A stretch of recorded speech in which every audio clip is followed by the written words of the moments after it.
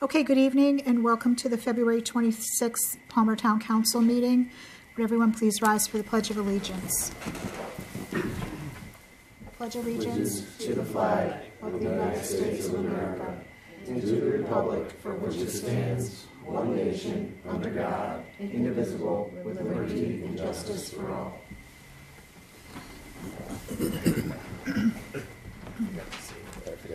Item is visitors' comments for items not on the agenda.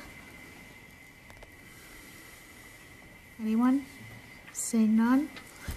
Okay, first item on the agenda is discussion and review of the town manager uh, interviews. And Bernie, did you, did you have anything you wanted to stay, say before we started? No, no, I don't think, uh, both candidates are are waiting to hear the response. Uh, but, uh, I have nothing, uh, no additional information beyond, uh, what we did last week. Okay, thank you. All right, I'll open up to the council for discussion. Who would like to start? Don't all jump at once. I like to kind of listen to everyone else. Somebody's gonna go first. Uh, I I guess I can start, I'm not that bashful usually. Um, I don't, I think either one of them are definitely qualified. Um, and I think Caroline probably has a little more experience. Um, But then, I also believe, you know, the little less experience that Brad might have, I feel that he has what I'm, I don't know if the right word, in a vested interest.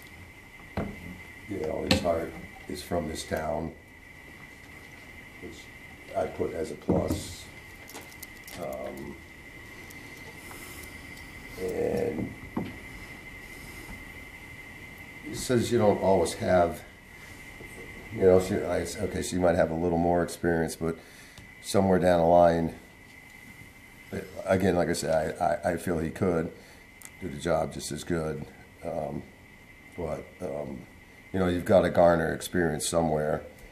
And I feel that uh, his heart is with this town. And to me, that, you know, is a big message of, uh, you know, he, he went to school here um, and he furthered his career as he spoke, you know, with the intentions of that was his destination is to end up back in his hometown and convincing i think part of his saying was uh, convincing friends and stuff that were telling him oh no i'm not you know to to draw people back to the town so for me that was a you know still in the air as far as who i really but that to me plays a big part in it.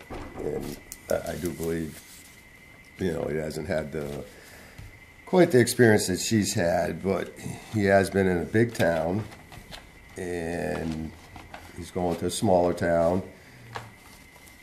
and you know, I, I think he knows how to access the information that he might not have, or you know, with the help of the council working together with him, I think he'd be a good fit. Thanks, Bill. Carl? Um, a while ago, I said a perfect candidate would be an assistant because they're hungry for it. They'll work hard, and uh, and uh, he's been a sports player, so he's a team player.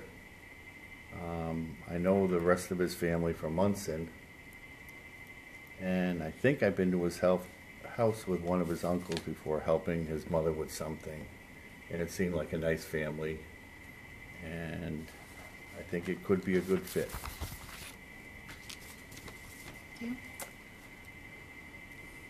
Do you, I'll be happy to go next. Um, so I think I'll, I'll speak about each of the candidates. Um, Carolyn, I think her her background in in having uh, department head positions in in other communities, um, and having you know spent many years in the municipal form of government, um, she's definitely has uh, the experience that we need. Um, I think that her coming from a smaller community uh, would be. It, I think she would be a good fit for Palmer um, because in smaller communities, you are responsible for wearing a lot of hats, getting hyper involved in the needs of your departments. Um, and I think that is something that we in Palmer need uh, because we are still a smaller community um, and we have limited support staff. So the next town manager really does need to be able to, you know, get involved in in each department pretty thoroughly. Um, I I think she has some good uh, project management skills with projects that are similar to some of the projects that we need done in in our community, such as uh, you know relocating the DPW in Hadley. You know that's something that's really important in Palmer right now. Something that she did speak about in her interviews that I thought uh, kind of st- stuck with me was that uh, she was all about not stalling projects and keeping them going. And I think that's something that uh, in the next town manager, um, we we really need because I think as a council we tend to well one we meet once a month, um, and sometimes we really get into the weeds on how things should be done and the way that we want them done. Um, so having a leader who can keep us going um, and not let those projects stall would be just a great fit um, for us. On the flip side, I think Brad, um, he has phenomenal financial management skills, which I think is something crucial for us. Um, he does have that experience in a bigger town, which one of my concerns is that, um, you know, I don't want him to get burnt out by having to kind of scale down um, the the work that he does as far as resources go. Um, because even though we might have limited resources, we still have a lot of the same problems that a, a bigger town has. Um, so I just would hope that we would be able to provide him the best support. Um, I think, you know, he does as we as we all know, he has the ties to the community. Uh, Carolyn has lived in Wilbraham for a very long time, so I just think geographically we're set up with two candidates who know the area very well, um, and so having either of these candidates transition into our community, I think, will be pretty smooth. Um, so I think at this point, I'm still a little conflicted, and I'm looking forward to hearing everybody's else's opinions um, because I think we have two really strong candidates, um, and in either case, Palmer will be in good hands. So I kind of took a different approach. I kind of started reaching out to a lot of people that I know in the community. And believe it or not, it's pretty tied. Yeah. There's a lot of folks on both sides. Uh, nobody really had anything um, negative to say about either person. Um, I guess we did a good job bringing two people to the table here. Um, I do echo a lot of the comments that you just made, Jessica, for both candidates. Um, I think we tried to get as many uh, probing details out of both last week and then in uh, prior, you know, first round interviews. Um, I'm pretty torn as to far as I think I have a direction I'm leaning. Um, there was no one selling point for either person for me, which kind of stinks because I was hoping it'd be easy. Um, but um, I do feel that you know my I, I've shared my concerns previous with you know very close knit ties to community coming back into it. That's that's kind of you know there's a lot of monitoring that'll have to happen. You know, we asked Brad a lot of times like, how would you handle being able to say no, stuff like that. Uh, but on the other side too, we've got Carolyn who's just been down the street. To your point, uh, just up the street in Hadley. Um, you know, I thought personally she interviewed better the first time. Uh, compared to this past time, which bothered me a little bit. And I don't know if it's just we just you know it was the same different people asking the same questions, and we were just kind of probing. I'm not really sure. Um, but uh, as far as like right now, I don't. I'm. I could write either name down on a piece of paper. So looking for. Happy to hear the council's. Uh, you know, I've got a lot of, like I said, a lot of feedback from the public on both candidates. So Go ahead, Matt. You want to go first? so I kind of feel the same way as most of the other counselors said. Um, some of the points that stuck with me for both both candidates was number one that they're both local; they don't have to go far. Um, another one is that um, individually, Carolyn does come from a community the same as Palmer, right? So she's working in a community about roughly the same size as Palmer, same problems, same everything. So she kind of has an idea of what she would be getting herself into. On the flip side, though, Brad is coming from a community that has three, almost four times as many residents as we do here, with a support staff of almost 500, um, which is nothing compared to the town of Palmer, uh, or way more, I should say, than the town of Palmer opposite that. Um, the only concern that I would have is that that Brad has um, has had people to do a lot of the stuff that he would have to do here. So that yes, even though he's had experience and he's got some taste of what he has to do, a lot of the time though, I feel as though that he's had people in his role as an assistant to do the job for him. Like yes, he's aware of what's going on because of his position, but does he actually have to do that job? No, he doesn't because he's got people to do it for him. Um, on the other hand, Carolyn works in a community roughly the same size as Palmer, dealing with the same size issues um, is in the weeds. You know, she knows what it feels like to work in a small community, wear many hats, like you said. Um, so yeah, either way, I mean, I'm. I think you did really good job picking these two. I can definitely say kudos to the to the search committee because they did a really good job. Um, couple other points that that stuck with me. I really like Brad's vision. Like he kept talking about the vision, and yeah, I was stuck with it at the last meeting when we were doing interviews, and I wanted to hear more about his vision. But as we got to talking and things like that, there are a lot of problems in in not problems. Let's just say there's a lot of projects and a lot of things going on in the town of Palmer that where your vision may be set on the back burner for a while because there's a lot of stuff that just needs to get straightened out. Um, and as long as he can can you know manage his vision and manage the needs of the town at the same time, then I'm all for that. I, I don't have any bad or negative comments for either of them. Um, the other thing too for Carolyn is that you know she's she's maybe not as strong in finance as Brad is because he's got that finance background, but I think she makes up in personality and in personnel. Like she has the people skills, I think, to get her to that point where she can groom and actually get the people to help her with the where she's lacking. You know what I mean? She has the personality where she's going to reach out and get help. She's going to reach out for those resources and and figure out how to fix what she lacks here in Palmer. Um, on the other hand, Brad, same thing almost. Um, very strong in finance.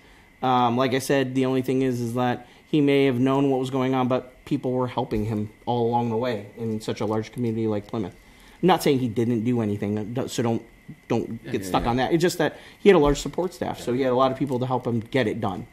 Um, but yeah, no, I mean, other than that, I mean, like I said, they're both excellent candidates, and it's really hard. And and even I reached out to people in the community and too, and I didn't hear anything bad. So it's it's pretty much a toss up between the two of them. Um, I just want to clarify that Hadley is not the same size as Palmer. It's a lot smaller than Palmer, Oh, people wise, people wise. commercial wise, they're way a lot more. Commercial-wise, they Yeah, have so a they're a little lot opposite than commercial, us. but- We're a bedroom community. Yeah. And it They is definitely a have. different form of government too. It's select. So Town administrator, yeah. So it's well, I'm saying it, it's a selectman body versus So is the, the Plymouth. council. Plymouth too. yeah, It's correct. different. Yeah. They're both they're both coming from Right. town meeting form of government, Right. so it's Right. it, it'll be a change of government for them both, and it's you know, and, and a lot of people look for this type of government because it is much easier to know, you know, your your elected body as your town your legislative body um, can be it has its pluses and minuses, but I would say argue it's a little bit easier than town meeting. This form of government, you can't stack the deck either. There's a lot of, yeah. There's a lot of unknowns in town meeting. So I think that we had two very good candidates and very different candidates. Um, I think they they both bring different skill sets to the community.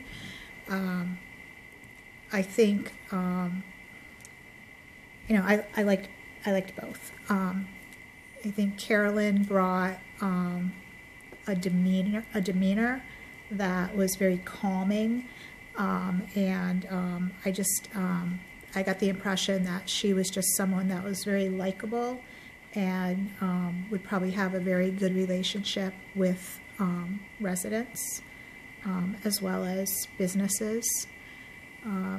And you know, I agree with pretty much what everyone else said about her.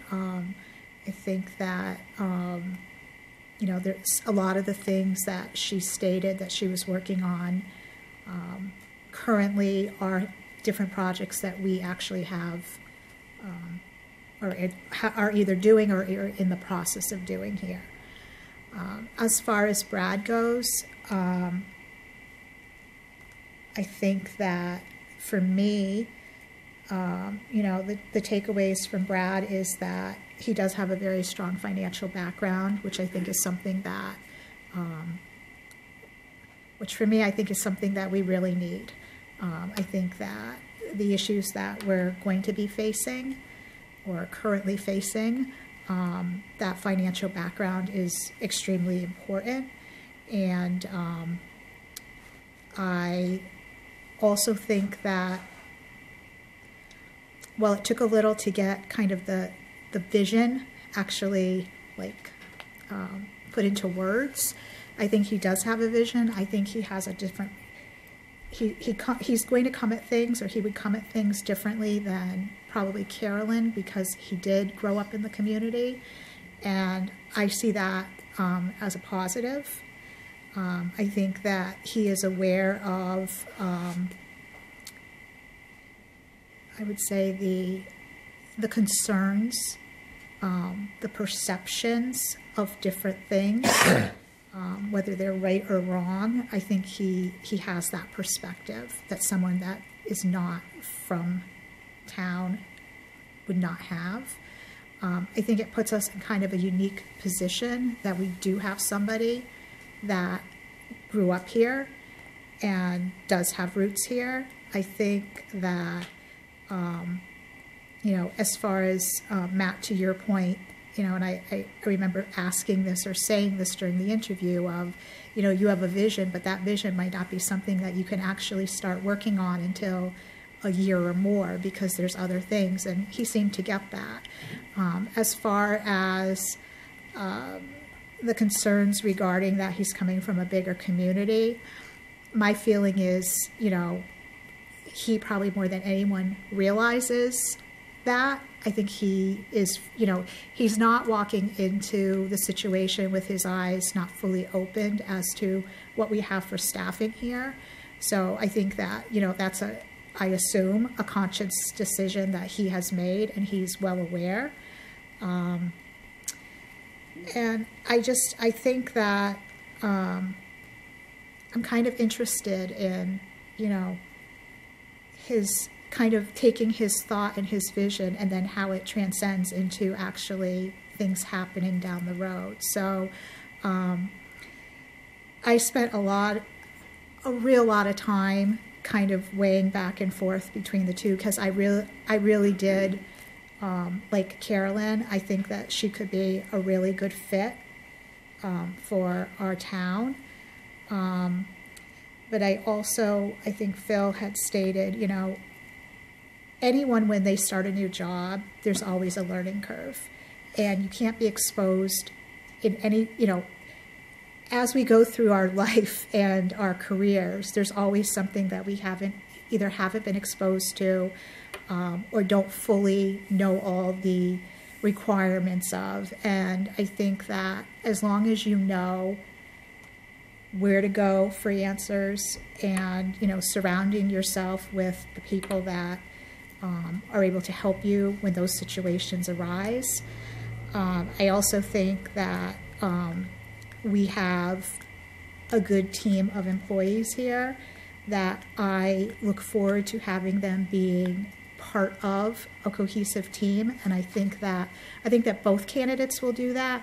But I think that that's something that will definitely, um, you know, Brad can rely on those individuals um, so that he's not just carrying the full weight of everything on his shoulders. Um, similar to what Carolyn would have to do if she was chosen. So for me, um, I feel that for what we need right now, um, I think Brad is um, is the is the stronger candidate for Palmer right now. So that's where I'm at. And uh, I just wanted to make another uh, comment that while everybody else was speaking, it came back into my mind was that one of the um, one of our questions to Brad was about how he would handle, um, you know, p- potentially knowing a lot of people um, that he's going to work with, that you know are residents in the community, um, and what one of his uh, talking points was that he is uh, prides his consistency. And I think that is something that we critically need here right now is a manager who is committed to consistency that will I you know think it would build a lot of trust through the council. I think it will build trust trust amongst uh, the departments. Um, and between financial management skills, some of the very large financial, uh, you know, projects that are going to need some financial, uh, some strong financial management skills to support, um, and also, you know, build, rebuilding the team at town hall um, and, and all of our employees in the town. Um, you know, so between the financial management skills and then also his commitment to being consistent um, and fair are two critical things that I think everyone in the community needs right now. Uh, so I, you know, I think Brad will be able to best provide that for us. I just want, were you watching me take notes? Because I I was was. listening. to- My- my third I- eye. I, I did write down, you know, as, as they were talking, the same thing I wrote down, you know, um, how we spoke about being consistent, consistency, how he talks to different people. He, he adjusts to if he's talking to you or me, and but he's consistent with delivering the same answer, you know, on how he does it. So in that, and then Matt, you made me, and Bart both, you know, made me write something down here. Um, I, I think they both, whatever side of the coin that they lack in experience, they both have the ability to reach out and to build upon whatever I won't call it a weakness of just a, a lack of having that uh, ability to do that certain job at that point. And they both, and so to me now, for me, and I am definitely leaning towards Brad, I, I think this is the big thing besides the consistency and stuff is reasons why. Why are you wanting to leave Hadley? And if I'm not mistaken, some of it was the commute for her and the different form of government, where Brad's reasoning is it was always a goal, was to go get the school and come back. I, I think the, the heart part of it he'd be more, I don't want to use the word vicious, but he's more hungry to come back to his town and show, hey, look, you know, we can do this. Right. It's like, and I grew up here. Let's make it the best of it. Right, and I, I think he has a, a deeper hunger for it. it. The reason is behind why Right. that, to me, weighs He has a vested interest. Thank you. Yes. See, And he doesn't talk have different to to be, different people. he doesn't have to be caught up on the roads too. If you say it's on whatever Stimson Road, oh yeah, when I was a kid, I used to throw cans out the window on my way home. That arguably I would not uh, say Confess. is like I had a, to bring a some top humor thing that in. I'm looking for in a I'm town not manager, serious. but okay. And uh, again, I, I've seen him grow, you know, from when he was in town on the, uh, the school. And then, you know, obviously he moved on and he, he's still finishing up further in. And, but it- they did do a really good job of making this difficult and, but I, I do believe that for me, he's the man. He's the person.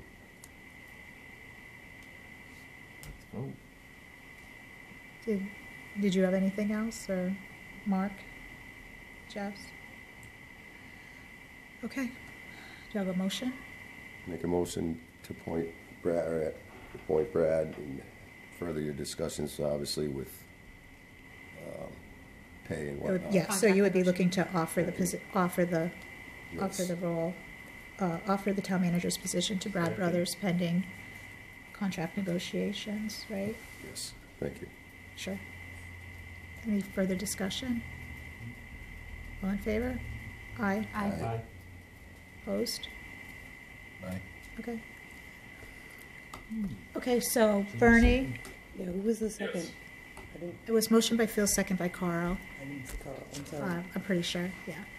Um, okay, so you'll, you'll contact, um, both Brad and Carolyn? I will do that. I'll do that right away. I know that uh, at least one is in a meeting tonight, but uh, I'll be uh, I'll be in touch with both of them tonight. Okay. Let them know, uh, and then uh, you'll be uh, meeting in executive session to start talking about the uh, the contract. We will, and then, um, Bob will reach out to, um, Brad tomorrow. Um, Okay. to start, if, if we, I mean, I'm assuming that we're gonna have Bob do that. I'll know more after we talk about it, but, um, Right. But yeah, so he, so, um, he should be hearing from Bob tomorrow at some point. Okay. Okay. I, I will uh, I will let him know that, uh, and I'll uh, uh, send on uh, your appreciation to Carolyn for her candidacy. Yes, please do. And, uh, and uh, all the, the nice things you said about her uh, interview and uh, her qualifications.